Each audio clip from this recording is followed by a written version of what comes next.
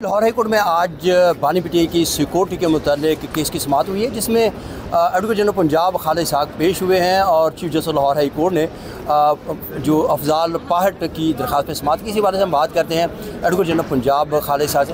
खालिद साहब बताएँ कि आज आपने बड़ी डिटेल के साथ जो सिक्योरिटी है जहाँ पर रखा गया इमरान खान को उस हवाले से आगाह किया क्या?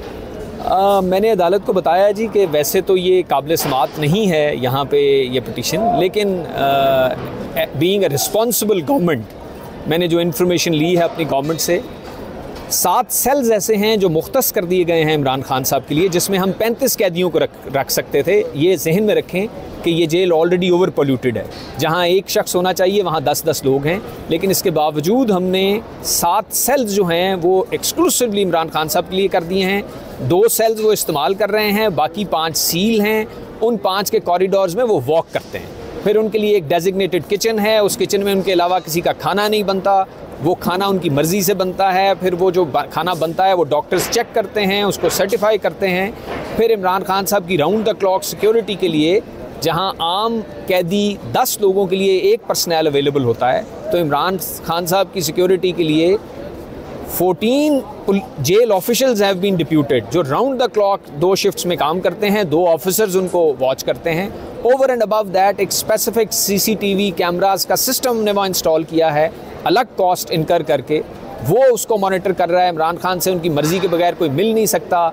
इस्लामाबाद हाई कोर्ट की डायरेक्शन के मुताबिक अब एक अरेंजमेंट के तहत उनकी एक से ज़्यादा हफ़्ते से मुलाकातें हो रही हैं, जो एक्स्ट्रा ऑर्डनरी अरेंजमेंट है। Over and above jail manual उनके लिए एक पूरी डॉक्टर्स की डेजिग्नेटेड टीम है। उनके अपने दो फिजिशंस हैं टर्शरी केयर हॉस्पिटल्स के डॉक्टर्स की टीम है। अभी रिसेंटली उनके पर्सनल डॉक्टर ने और उनके डेंटिस्ट ने उनको चेक किया है।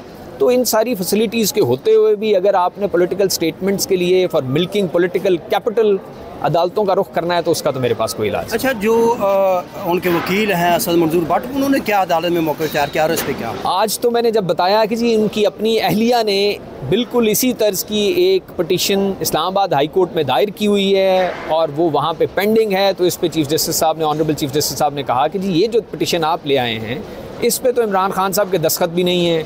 उनकी अपनी अहलिया ने वहाँ एक पटिशन फ़ाइल की हुई है तो आप फिर इस पर जो पटिशनर के काउंसिल थे उन्होंने टाइम सीख किया है कि हम ज़रा इन्फॉर्मेशन ले लें। तो अब ये हालात हैं कि हम इन्फॉर्मेशन के बगैर बस हम पटिशन करना चाहते हैं एक स्टेटमेंट देना चाहते हैं वो उस पर कोई रोक नहीं लगाई जा सकती। डेट अदालत ने क्या डाली और क्या? अब ईद के बाद इसकी समात होगी। जी इमरान खान की सिक्योरिटी के हवाले से जो केस है इसकी समात अब ईद के बाद होगी और अदालत ने जो दरख्वास्त गुजार के वकील हैं असद मंजूर बाट उनको जो क्लाइंट हैं उनसे डायरेक्शन देने के लिए मोल दी।